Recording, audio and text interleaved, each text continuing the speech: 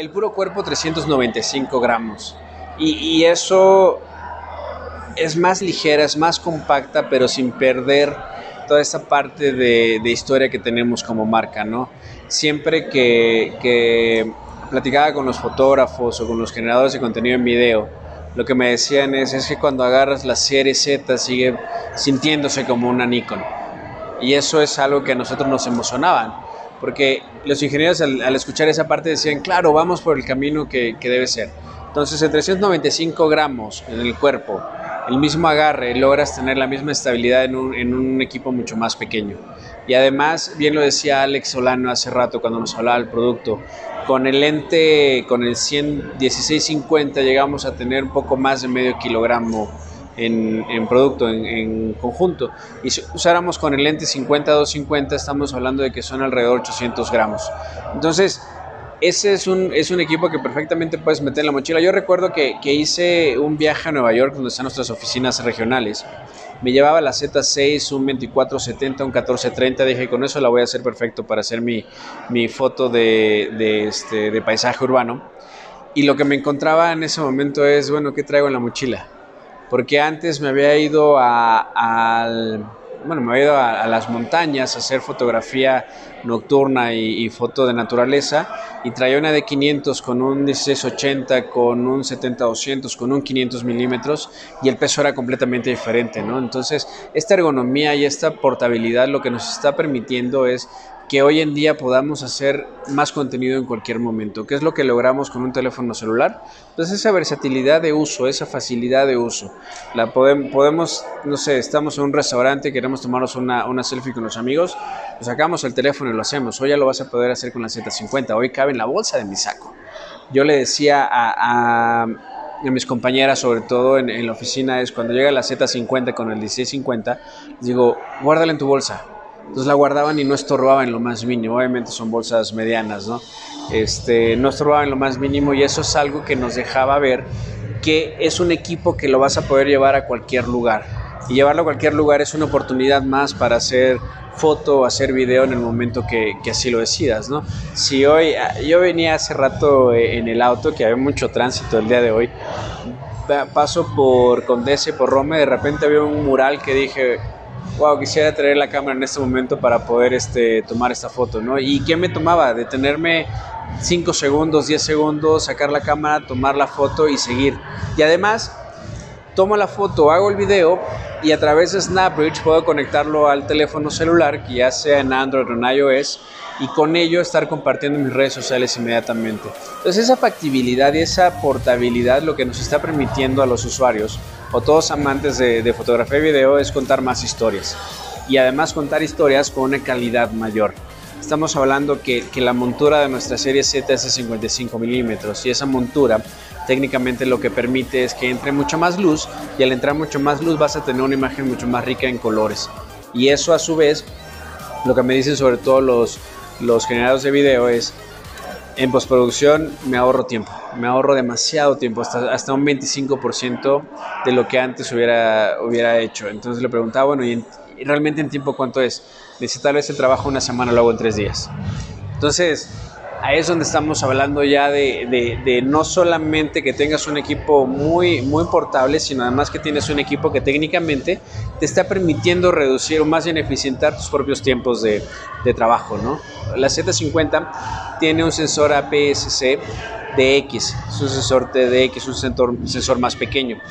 Este graba en 4K y en Full HD, en Full HD llega a darte hasta 120 cuadros por segundo. Entonces, eh, esto eh, de entrada te da 8 bits de color. Y si la llegas a usar, la Z6 y la Z7, si la llegas a usar con un Ninja, con un Atmos, con un Atmos puedes llegar a tener hasta 12 bits de color.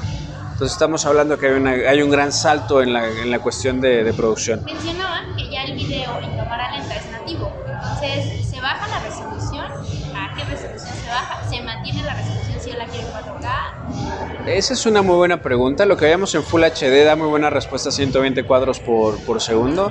Entonces estamos viendo una gran mezcla en cuestión de video y, y, en slow motion está dándonos una muy buena respuesta. Las pruebas que hemos hecho nos dan muy buena respuesta en, en calidad de imagen. 4K quisiéramos estar ahí, pero vamos paso a paso. Quería saber un poquito más eh, mencionaron que va a haber otros lentes Z50? Los costos que van a tener en el mercado y si ya están disponibles aquí en México. Claro, mira, la Z50 viene en dos versiones. Tiene Z50 con un lente de 650 que es formato de X para formato de X. el costo de la cámara y ese lente juntos es de 24,999. Empieza ahí dependiendo de la tienda a la que vayan a visitar. En el caso de la Z50 con el 1650 y el 50-250 empezaría en 31,999.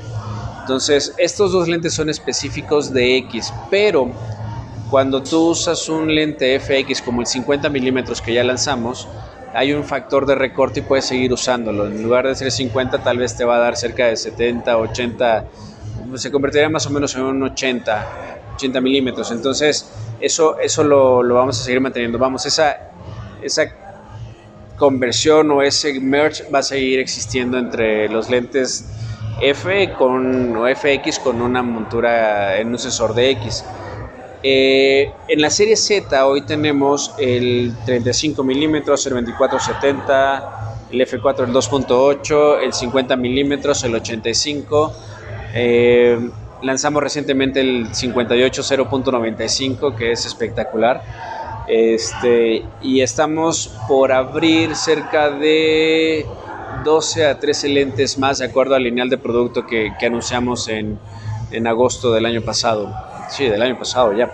Entonces, este, este lineal se está ampliando, estamos hablando de cerca de 20 lentes en menos de, dos años y medio más o menos, incluyendo los dos lentes de DX que tenemos hoy en día, pero con, la, con el adaptador FTZ logramos conectar lo que en antaño podrías tener, por ejemplo un 18300 podrías conectarlo con la Z50, un 40 milímetros macro podrías conectarlo con la Z50 y lo que es una belleza es que el FTZ, este adaptador, no te deja perder ningún paso de, eh, o no te deja perder absolutamente nada en el lente.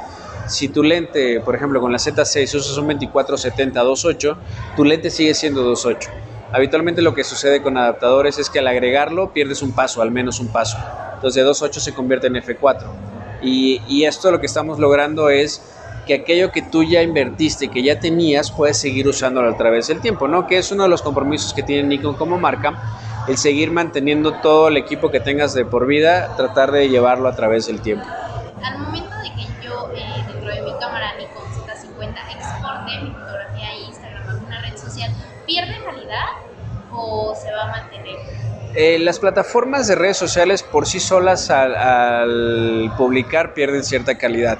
Lo que yo he visto es cuando transfiero la foto de la cámara a mi teléfono y del teléfono lo subo a, más bien, lo puedo hacer, puedo transferir la imagen o a 2 megapíxeles o en tamaño original.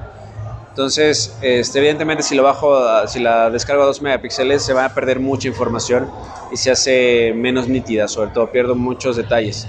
Pero cuando he descargado una imagen, este, recuerdo una que hice con la Z7, la descargué original la subí a Instagram, no perdí prácticamente nada en la calidad.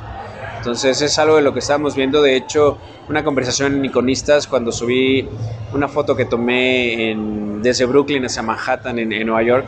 Me preguntaban, oye, ¿cómo hiciste para que no se bajara la calidad de la imagen? Yo creo que también tenía que ver tanto la, edición, la postproducción que, que hice en la misma, no la retoqué tanto, pero al descargarla en original, de la cámara al teléfono, tuve mucha más facilidad de, de poder hacer una, una, postproducción más fina.